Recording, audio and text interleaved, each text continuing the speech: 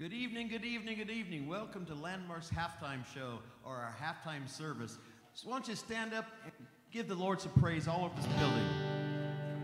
Be glorified. Be glorified.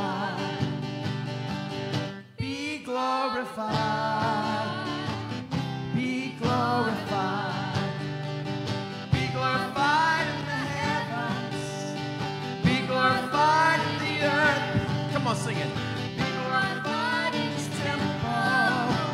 Jesus, Jesus. Come on, sing it. Just worship him. Be glorified.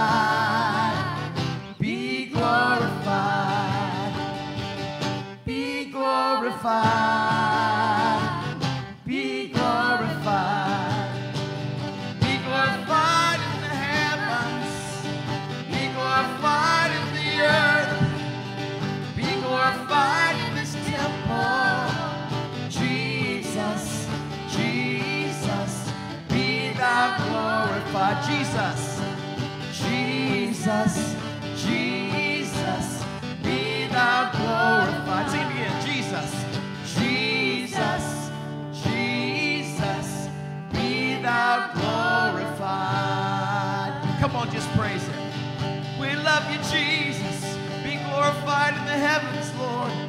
Glorified in the earth, Lord. We praise you, Jesus. We thank you, Jesus. We just want to give you praise, Lord. We give you thanks, Lord. We praise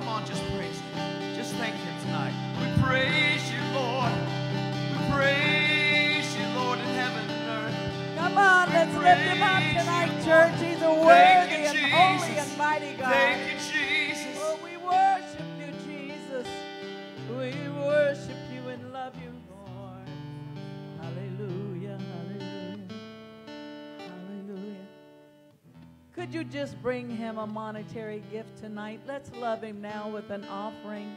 We will come into his presence with thanksgiving in our heart.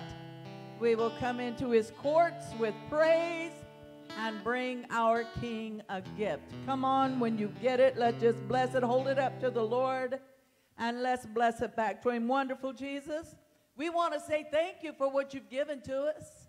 And now, Lord, thank we you, give Jesus. a portion back to you. you. Whether this be a first fruit or a tithe or an offering, whatever it is, we offer it to you from earth to glory. Amen. May we make a money exchange now from this old darkened world to your kingdom. In Jesus' name. Amen. All right, let's bring it to the Lord. Amen. Here we are, praising the Lord with our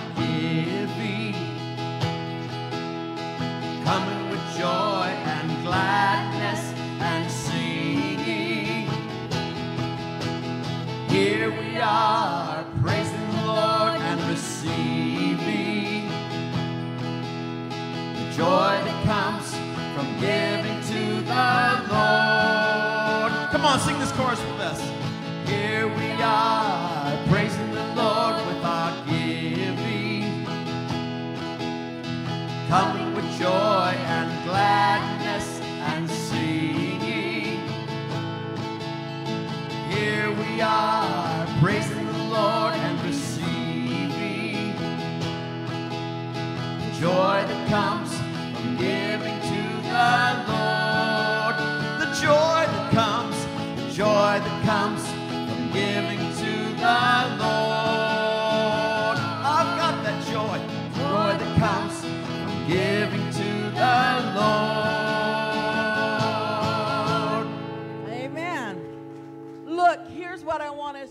right now. Linda, I want you to come forward and we are going to pray over your feet. Come right here, front and center. I want as many of you that want to come around her.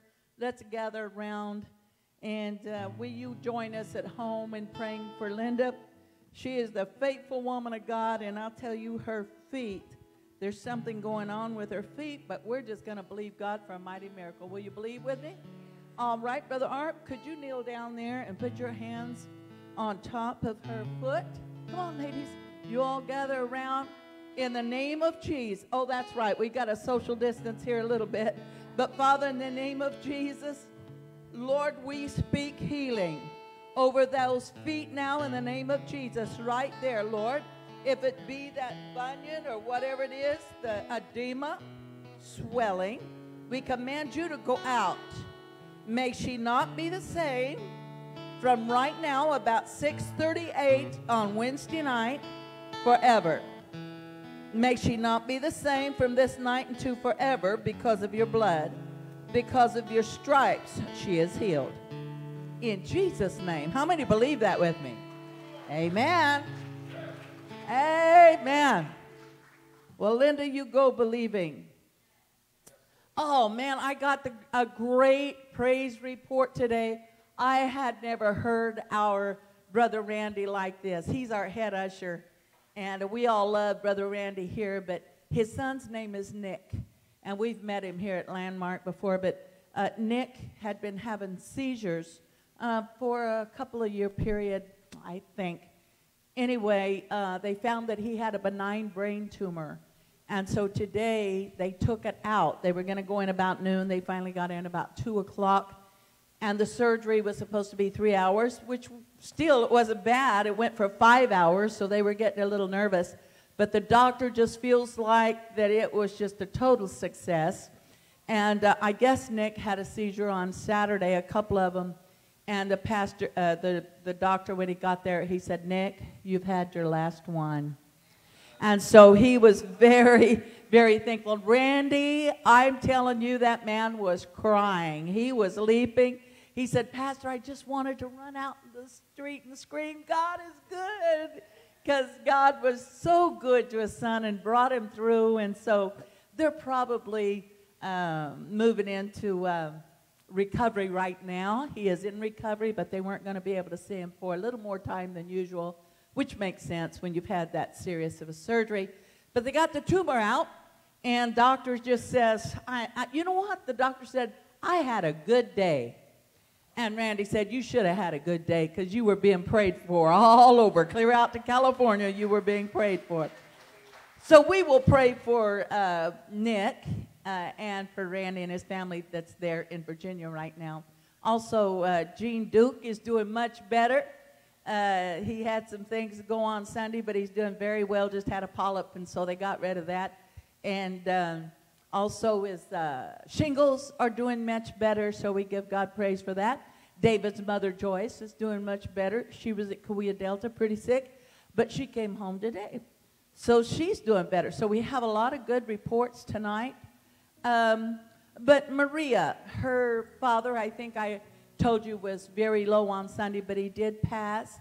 And uh, that is Iliberto, I hope I'm saying this right, Bustamonte. And uh, I saw them today, and the family's just rejoicing that our precious brother, he was so tired, and he fought a good fight. And he kept the course and uh, he just ran it all the way out until the end, faithful to the Lord. So he's crossed over, and uh, we took them some food. So if you think about it, pray for Maria and her precious mama and the siblings. Um, would you stand with me inside the church right now, and, and let's just take these to the Lord. Let's start by praying uh, for uh, Brother Randy's son. Father, in the name of Jesus, I thank you for being with Randy and and his family, and I was just rejoicing to hear all the thrill in his voice, Father. He was so very thankful to you, and, and his love for you came out, and, and the trust that he had for you. Thank you, Father, for giving Randy and the mother and, and Stacy and, and the family the peace that passes understanding and the siblings. And thank you for the touching the doctor's hands. Lord, we give you praise for a good night. Nick, we command you just to sleep well tonight. Be restful, and may you have total success in Jesus' name. Be back to normal very soon. Father, touch Maria and her family. Little mama, Lord, give them strength and peace that passes understanding. When a loved one crosses over, we sure need your peace to keep us. Lord, give them strength as they rejoice in what's happened to daddy, but they'll miss him. So, Lord, may your glory be upon them.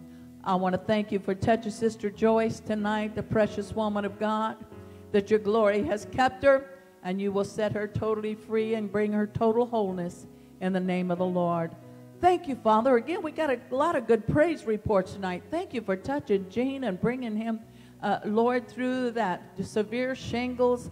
And Lord, we just bless him tonight. May he be back real soon. And if there be any at home tonight, Lord, that's having any issues go on, we bless you tonight in Jesus' name. May you be healed and whole and blessed, blessed of the Lord who loves you the most. In Jesus' name we pray. Hallelujah. Amen. Well, praise the Lord. You may be seated in his wonderful presence. Thank you all for being here tonight. So glad you're with us. And I want you all who's in the house to let me know what you think about coming out on Wednesday nights. Uh, so I know that we're enjoying it, and we've got a lot of people, some of you at home still haven't returned, and I don't know why you're not back with us yet. We're just as safe as any place could be. So we invite you, come on back to church with us, and, uh, and I promise you, you're going to be blessed of the Lord. We're just having a great time, aren't we, church? and we are enjoying ourselves getting to come together. But can I encourage you to do one thing for me, please? You know, you hear there's another uptick of the coronavirus in our towns, and it, and it has hit kind of close to home now in some places. So uh, I'm going to ask you if you will still keep uh, the some of the restrictions, okay? We haven't required the mask, but you know, when you open the gate, sometimes people just get a little tacky and we don't want to do that. Please keep protecting each other. Please keep your distance. I know we had some guests Sunday and we want to hug, but please respect each other. Respect yourself. And um, let's just protect as much as we can because we want to come back in here, all right? So we're an intelligent people. We're grown ups. You know, we don't need to be pampered and pampered each other. We're, we're grown up. So anyway, you all come on back and and don't worry about anything, all right? Just don't worry about anything. It's good, and God is good, and He's taking care of us, and and um, everybody just do the best you can is all I ask, and that'll be just perfect. Well, um, and again, the bookstore is not open yet, and I'm going to ask you, please don't just don't get so close to each other. I noticed Sunday people were getting real close, just forgetting and close enough to spit on each other, and you know, um, probably shouldn't use that word. My little Ainsley said the other day, she said, Does everybody have saliva in their mouth? And uh, we said, Yes. And she said, Well, my teacher said it helps chew the food and digest the food. I said, That's right. And she said, Well, you know that saliva is just a fancy word for spit, technically. And I said, Yes, it is. So uh, she taught me what the word was. So, um, anyway, let's just keep our distance still. For just, I'm not going to ask you to do it forever, but just another week or two. So, just long enough for us just to make sure that everyone's safe. All right, I'll be quiet. We're going to continue tonight talking about hearing the voice of the Lord and learning to hear the voice of the Lord. Uh, let me ask you how many of you were here probably three or four years ago? I don't know. Time passes so quickly. Maybe five years ago. I don't know how long ago. But anyway, it was Wednesday night, and I the Purpose Driven Life had just come out, or had been out a while, and I went through the whole book. 42 weeks we taught every chapter of that book, and we had to condense it because they were long. But it was very, very good. Now, the name of that's Rick Warren's book, by the way, and it was called A Purpose Driven Life. And then he came out with A Purpose Driven Church, and of course, many, many books after that. But I'll never forget on that Purpose Driven Life, the subtitle is, What on Earth Are We Here For? And he answers that question. I mean, it was right up front. If it wasn't the first page, it was pretty close. And his answer was this to have fellowship with God. That's why we were created. That's why God made Adam and Eve. He didn't want just a bunch of animals, He wanted people that He could talk back and forth with. And it's just a huge uh, thought for us. Some things we just have to have our spiritual uh, mind, our, our eye of faith to receive some of these things, like God dwells inside us. How could the creator of the universe dwell inside us by his spirit? We receive that by faith. And so, this also that we're going to be talking about tonight is that God wants us to hear his voice and he wants to have conversation with us. And we are here because he wanted to have a relationship with us. Again, that's something you just nearly have to receive by faith to think that the creator of the universe would want to spend time with us. He would just want to be with us, to have relationship with us. So I'll never forget some of the things we learned in that book. It was a blessing to me, if nobody else.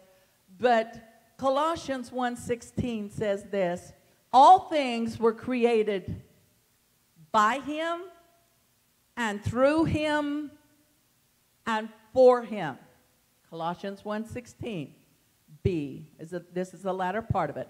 All things were created by him and through him and for him. That means you and I were created not for your husband, not for your wife, not for your children, not for the church. We were created for Him and Him only. And then He shares us with each other. And how many times have I said to people like our precious Maria, well, he belonged to God first. He was, he's God's son first, and then he just shared him with mama, and he gave you the sweetest daddy. He created your daddy for him, and then he shared him with us. What a blessing that is. So let me ask you tonight how can you have a relationship with somebody and not visit with them? Now, we have done enough marriage counseling in this house. I've done plenty, and when we have couples, sometimes Linda and I come together so we can have a male voice and, and my voice as well as a pastor. And, and we go in there, and, and you know, you've got big issues sometimes. The number one issue most of the time is communication, you know, unless it's somebody has been unfaithful. But uh, most of the time, it will be a lack of communication or financial problems. And uh, those are the two biggies. Now, in some cases, you'll hear the couple may not just be communicating very well. Well, I thought you said, well, I thought you meant, I didn't mean that. But you said it, but I did not mean that. And then sometimes you'll get in there and then you'll understand that one person does all the talking and the other one says nothing. And you say, Why aren't you talking? Well, it doesn't do me any good. And so they just don't say anything. And so the marriage falls apart. Uh, one counselor told one of our people that went to another counselor one time, they said, marriages don't fall, uh, excuse me, people, marriages don't fall apart, people do. The people fall apart, but a lack of communication will kill any relationship. And if we don't communicate with God, if we don't talk with Him and listen, if we don't learn to hear His voice, it's going to devastate you.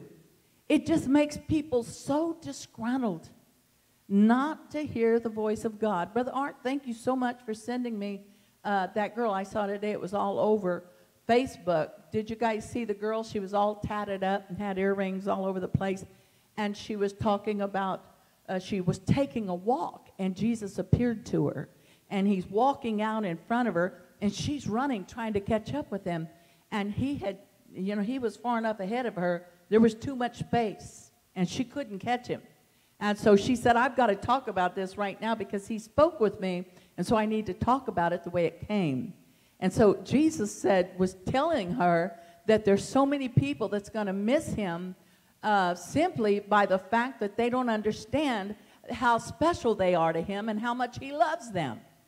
And he wanted her to tell us that he's coming sooner than we think. And I mean, this girl was busted up, was she? I mean, you that saw her, she was crying and weeping. And she said, I'm a beautician. You know, I don't come out here with no makeup on and do this ugly cry like this. But I'm telling you, she had heard from Jesus. Now, I wish we all heard from him more often like that, but we usually don't hear him audibly or see him in person. Every now and then in this life, you will. But for the most part, we have that discerning that we learned about last week, that feeling, just that knowing of Him talking to us. So He does depend on us hearing from Him. Now, I want you, though, to turn to Matthew 4 and 4. Um, you are very, very familiar with this, but I want us just to take a minute because it's so important. Some of these things, you've seen them so long, you've heard them so long, that sometimes you miss it. But Matthew 4 and 4, Jesus was just came out and um, he had just been baptized at the Jordan, and Satan had led him into the wilderness. And when he gets out there, the devil starts in on him. And uh, Jesus, uh, he said, Now, Jesus, you know, you could turn these stones into bread. I know you're hungry. You have been eating for 40 days and 40 nights. Turn these stones to bread. In verse 4, Jesus says, But he answered and said, It is written, Man shall not live by bread alone, but by every word that proceeds from the mouth of God. Did you catch that? Did you catch that? He said, I want you to live by the words that come out of my mouth. By every word, live by the words that come out of God's mouth. And we're just not familiar with living like that, I think. The church just gets slack and we back up from some of these things. Can we really live by hearing the voice of God? Well, that's what Jesus said you got to do. Jesus said, don't just live by bread alone. Now, I've probably forgotten it many, many times since, but I'll tell you, when my husband and daughter were killed that Monday morning, this scripture came so alive to me, I didn't want to eat very much because it was just so mind boggling what had happened that day. But that both Rick and Jamie were snapped out like that. And I remember I could hardly eat. And, and this scripture came to me. It's okay, it's okay. It's okay. You don't have to worry about not eating because my mother and different ones, you got to eat, you got to eat, you got to eat. And the Lord just put it in my heart again, just a knowing. It's okay. You'll live, you won't live by bread alone, but by every word that comes out of my mouth. And Dwayne, I'm telling you, I lived by his words for a long, long time. Now, as time goes on, you learn that you can start to function. And uh, I'm telling you, those desperate times, just like we're in right now, this big crisis, see, this is the place, folks, where this is the place where the church strives the most. In a time of crisis, this is when the church picks up you pick up yourself by your bootstraps and you come on into the church, and the body of Christ usually moves into a new awakening. So appreciate the crisis, meet with God, talk to Him, and say, God, I want to live by every word that comes out of your mouth. I mean, we live by bread. Thank God we have some good food around. But God is saying, I want you to be different from the rest. I want you to live from my words. You know what makes us different? from the people you work with? The people, excuse me, I should have said that because there's a lot of good folks you work with. But the difference between you and an unbeliever is you hear the voice of God. That's the difference is you have a personal relationship with him. So that makes it different. And you know, we don't as Pentecostals or uh, Pentecostal faith, we don't use that word personal relationship as much as the Baptists do. But the, pers- the Baptists are always saying, I have a, do you have a personal relationship with God? You know, Jesus Christ, my Savior. Well, the reason Paul used this word so heavily, a personal relationship, is because it is personal. It's just your personal experience, just you alone. No one else can get in this relationship with us. Not your mother, not your dad, not your husband, not your wife, not the kids. Nobody's in this relationship but just you and him. Isn't that awesome? Just like you and your husband or you and your wife.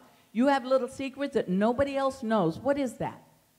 It's because it's your personal marriage, just you and him, and you and her. That's it. I know you had kids, but it's just you and that person.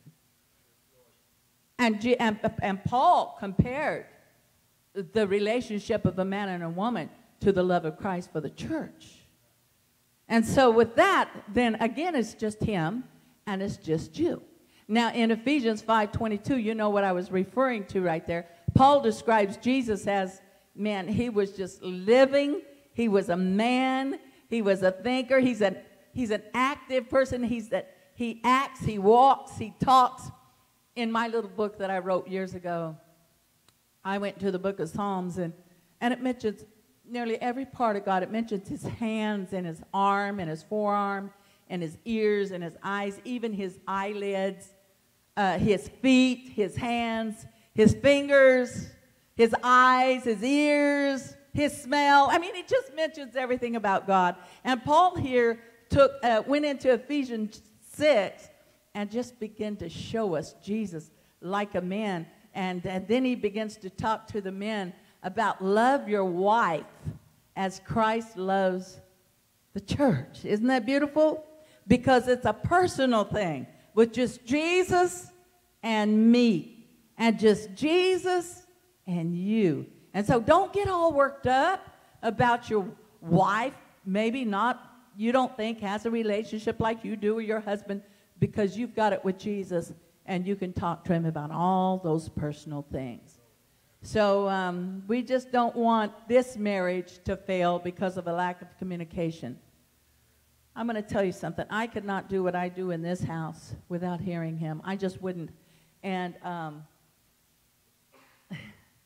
I know many of you that were in the 50s and 60s. My sister loved, uh, she, she grew up in the 50s, and she loved uh, so much of the 50s music. And Neil Sedaka was a was a big thing, you know. He, he wrote things like um, Sweet 16 and Calendar Girl and, and a whole bunch of those popular little sweet songs. And so I was watching him the other day on Facebook, and he's an old guy now, you know. He's really old. He's got arthritis in his little fingers, and, And he still comes from his apartment from one of those old brownstone buildings in New York. And every time he comes on, he says, Hello, it's me, Neil Sedaka again. And I'm just going to cheer you up during this time of crisis. And he starts singing those old hits. And you know, it's just been kind of fun to hear some of those things. But I heard a documentary and I wanted to listen to it. If I really felt like I should listen. And, and he was talking about the power of a song. And we spoke about that two weeks ago, not according to the way he saw it. But I thought of, he said, for 10 years, he said, um, I think he said 10 years, he had 10 number one songs, one right after the other. And he went from having like a couple of thousand in the bank to millions. I mean, millions, $500 million in the bank. And, and he just got wealthy overnight from all these songs. And then everybody started recording his songs. And then he said the Beatles and the Rolling Stones and all those famous uh, rock and roll people came. And he said it just cleaned me out. Me and the other 50 stars, you know, we were gone. We were just nobodies. He said people would see me on the street and they'd say, Didn't you used to be Neil Sedaka? And he said it, you know, it was just horrible, just a horrible thing to hear. And then he started trying to recreate himself 10 years later. And then he did. He came back with some of those songs like I See Laughter in the Rain. And I think some of the big uh, rock stars came out, pop stars, whatever they're called.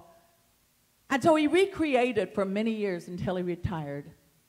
And I thought, after listening to that, I thought, that poor man.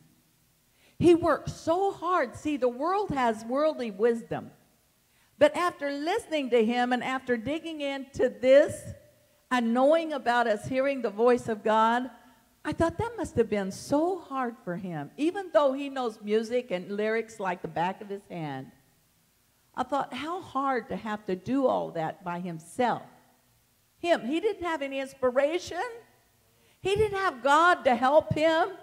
He did it. He did it according to the world standards. Now, you and I don't operate by the world. And we don't, we don't live by every dollar that comes in, though we've got to have money. But he was living by the money and fame and fortune. Where you and I, Paul said, you live by every word, and I'll help you in every situation. But come to me and ask. Don't worry about going to so many other people. Come to me and hear what thus saith the Lord. You know, God didn't get laryngitis. You know, he spoke to all the Old Testament prophets, priests, and kings. And the, the New Testament, he spoke with those people just as he does.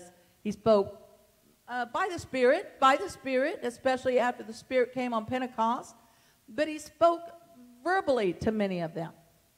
But when the Holy Spirit came, he speaks to us now through the Holy Spirit.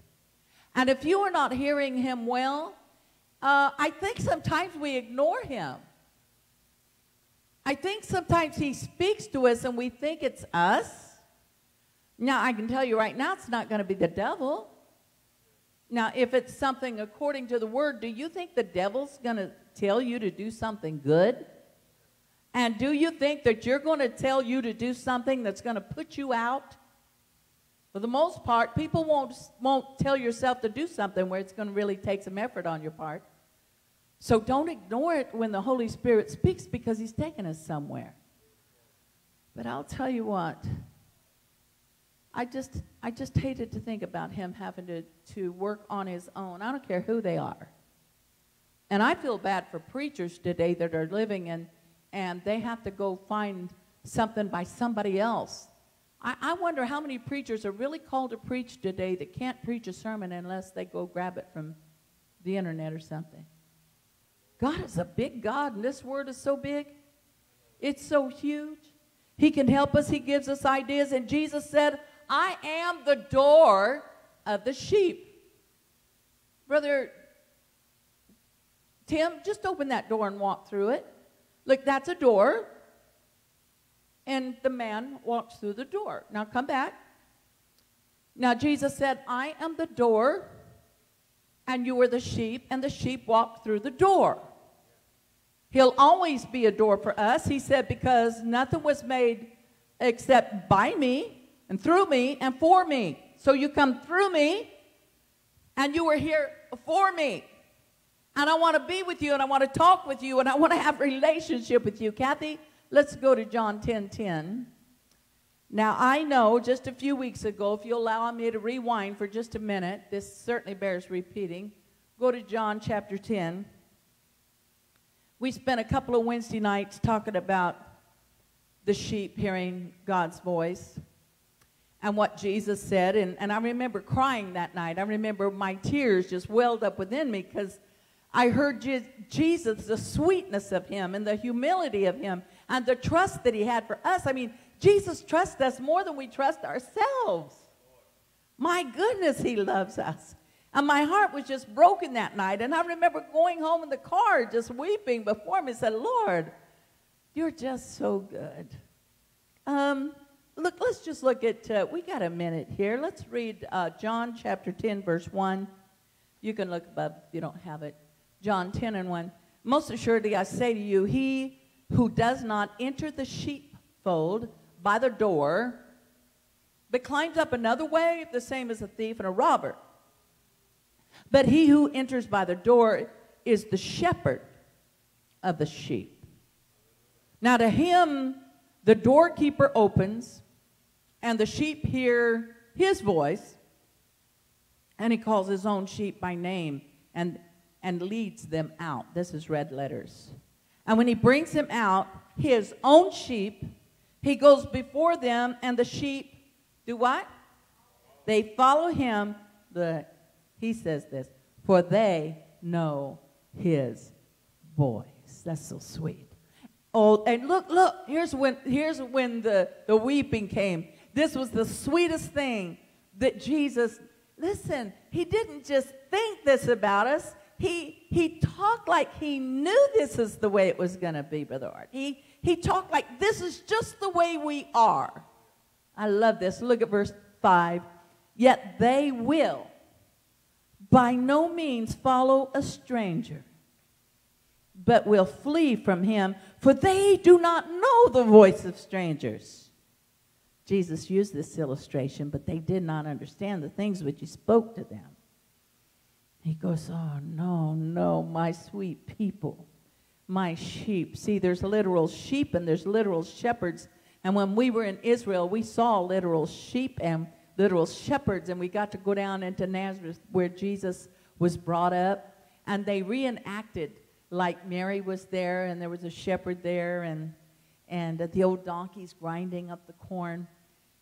And uh, I heard um, Robert Morris, Peggy was telling me that Robert Morris is doing some great work on hearing God's voice, but I think he did that about a year or two ago when he wrote this book called um, just left me. Anyway, I heard Robert Morris say this in reference to this. He said he and his wife were in Israel. Now, I wish we would have talked a little more to those uh, shepherds, Kathy. But he said, when we were in Israel, we spoke to these shepherds, and he said, I started asking him questions about he and the sheep, according to John chapter 10. I wanted to hear uh, what Jesus' words. And he said, Do the sheep really know your voice? And he said, Oh, yes. Oh, yes. He said, You see the fields here in Israel, we have a lot of room, and the fields are really big, and we bring our sheep in and let them eat off these uh, pastures, and then we'll move them on over to another. And uh, so he said, Whenever we have company and the other shepherds join us, and they'll bring their sheep over uh, for the day, and then they'll move back into another pasture overnight, maybe come back the next day. But, but he said, um, we'll just stand around the fire or we'll just be standing around there visiting and talking and laughing. And, and he said, and when it's time to go, he said that old shepherd, he said the shepherd, he'll just give his sheep a whistle. Or he uses a word, he says, what does he say? And um, this one shepherd said, let me find it. He said, uh, they've got different names. He said one shepherd friend just says, Ep, EP. Yep. And another one says, ha. And when they do that, he said all those sheep. They just divide themselves from the flock, and they just start start heading off, and the old shepherd starts walking, and the sheep just start going after it. See, so the things that we read, the things that most of the, the apostles taught, and Jesus as well, when Jesus started talking about the ground and seed sowing, he was usually talking to a farmer. When he was talking to uh, about fishing, fishers for men, he's talking to um, fishermen. And here he's talking about shepherds because he's been around a lot of shepherds. He's called a good shepherd. And we're sheep. And you know what? He didn't say this about lions or bears or tigers or giraffes or even dogs. Now, dogs will follow their master. Sometimes they'll get ahead of you, but a sheep won't do that. And many say they're dumb animals. Well, we'll leave that where it is. But we need Jesus. Uh, do we? We need Jesus. And so he says, Oh, no, I know my sheep. He said, They won't follow another. See, that shepherd was telling the Morrises, he says, Look, they joined in with our sheep, but when it's time to go up, and they just jump in and follow him right on out. And Jesus said, That's how you all are. He said, You won't follow anyone else, you'll follow me. And you'll run from a voice of a stranger. And you know what I found out about you, the people of God? I don't know you real well, but I think I know most of you. That if somebody comes to your job or comes to your door or meets you at Walmart and they try to take you astray, I think I got a feeling that you'll dismiss yourself and you'll walk away from them. Just like Jesus said you would. He said, No, no, no. You won't follow a stranger. You'll flee from him, for you don't know the voice of strangers. You don't know that voice. The only voice that you've known over the years now is the voice of Jesus. And he not only depends on us to hear his voice, he wants us to hear his voice. And we must learn to hear his voice. Amen. Oh, God. When I read that, John 10 11, it says, I am the good shepherd. Look at that, John 10 11. We, we could cover this whole thing. I mean, it's just so big. Look at verse 11. I am the good shepherd, and good the good shepherd gives his life for his sheep. Look at verse 14. I am the good shepherd, and I know my sheep. And I am known by my own. I am known by them. I know them. They know me. Isn't that the sweetest thing? Isn't that just personal and precious? That's not your wife or husband talking. That's Jesus. I know my sheep. My sheep know me. Look at verse 27. Ooh, 27. I'll tell you, I wasn't intending on this, but these things are just so good. Verse 27 My sheep hear my voice, and I, say it with me, I know them. I know them. And they follow me. He's so proud of us. Ooh, especially us who follow him. He goes, I know them. So, according to what this is saying, now you can weigh this, but it almost sounds like when we're born again, this almost be- should at least become an instinct in us. When you see what Jesus is saying, it looks like it should be automatic to the Christians, like it's a part of our DNA. Wouldn't you say, Lynn? It's like a part of our DNA. It's just. It's just a part. It's like instinct. We know we have the ability, the ability to hear him. After, of course, that's after we're born again. But it's a part of the new nature that he gave us. You say, well, then if we have that instinct, Pastor, then why in the world are you telling us we must learn how to hear the voice of God? Either we do or we don't. And I don't. And if I if it's instinct, then I want to hear him, but I don't hear him that much. Well, Think of the babies. We've got a lot of new babies around here. This little guy, he just kind of learning to set up by himself. Pretty soon, you know, he, he doesn't even say mama or dada yet, but he will. He'll say it very soon. And it'll just and and then another word, faith, just in case you're wondering, he'll learn. You don't even have to send him to school, preschool, TK, nothing. One of the first words he'll learn is no. He didn't have to go to school to learn that. Oh, he, he already does that. you know, just move your head. Or mine, mine, mine. You know, so so we just came out of the world when we got saved. So we just came out. So we're still full of all that selfish mess. So we're going to have to retrain ourselves to think, no, it's not all mine. It's yours first, Jesus. And the answer is not no. It's what thus saith the Lord. Lord, what do you think? So everything starts being a little different. So the baby starts with a few words daddy, mama, water, baba, you know, all those little things. And then they start maturing and, and they, even, even now, I can guarantee you, probably little Reyes, when daddy walks in, mama walks in, grandma grandpa walk in, they know their voice. They could probably, uh, even at his age, be, he could be in the living room, they'd be in another room, and he hears Roman's voice, and I guarantee you, he probably already knows your voice, doesn't he? See, you're very young, but when you're saved, you get saved and you come to Jesus, that relationship starts. You fall in love with him. He loves you, and you begin to hear that voice. And you may not feel like you know how to pray. Somebody called me the other day and said, Pastor, do I have to pray out loud in the morning? Do I have to pray out loud? And I said, Well, you know, it's you don't have to pray real loud. I mean, who wants to hear a loud voice, even especially yours early in the morning? But at least open your mouth and whisper or say something. Because if you just think it in your mind, your thoughts are all crazy, all mumble jumbled. So at least open your mouth and talk or whisper or whatever. But you'll learn more. You'll learn how to talk. See, as we get older, you don't say the same things when you're uh, 10 years old that you said when you were uh, one year old. And then you don't talk when you're 20 like you did when you were 10. And when you're 60, you don't talk like you did when you were 30.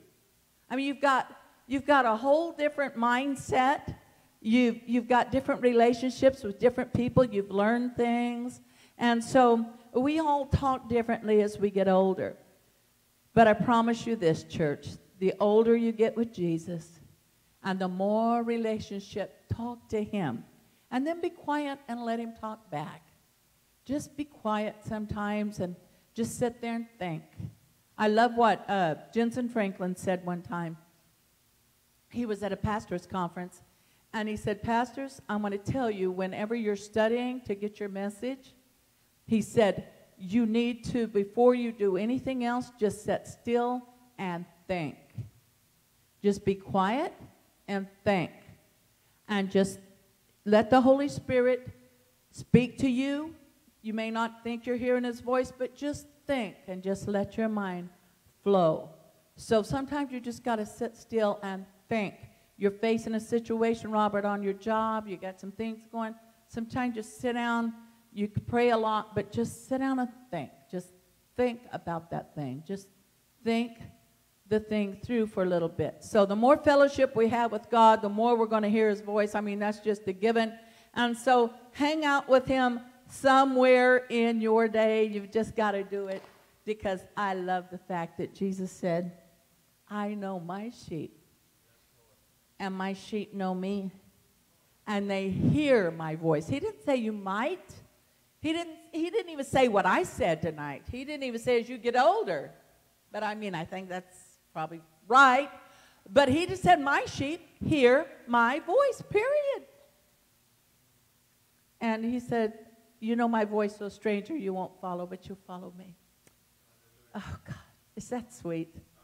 Oh, God. Come on, let's go home. Let's stand and, and agree together. Wonderful Jesus. I want to thank you for all those good reports we had just earlier in the service, the good things you've done for your people. And Lord, there's people in this house tonight and at home that really are depending on, they got to hear your voice. And I pray that somehow this simple little message has helped somebody tonight. Oh, Jesus, at least the part that when you were talking and you said, Oh, no, no, my sheep know me and I know my sheep. I think that's so sweet that you said that to us. You didn't have to put that in the Bible, but you put it there because you said, No, they won't follow a stranger, they will follow me. And I'm the door of my sheep. They'll come through me. Oh, he loves you. Oh, he loves you. He compared marriage. Sal, you're getting ready to marry a wife. And he said, Oh, that you might love your wife as Christ loves the church. The comparison is awesome. He said, I love my church and I gave my life for her. That's why he wants us to hear his voice. Wonderful Jesus. Lord, you've been so good. Oh God, speak to our hearts, change our lives, change our minds. In Jesus' name we pray. Amen. Hallelujah. Well, the Lord bless you and keep you, cause his face to shine upon you, be gracious to you. May the Lord turn his face toward you and give you peace, and may the blessings of Abraham overtake us in Jesus' name and keep you safe. I plead the blood of Jesus over you from the virus or any other thing. Oh Lord, may we follow after our shepherd in Jesus' name. Amen. Amen. If you need prayer, I'll be right here to pray with you. Thank you all for being here tonight.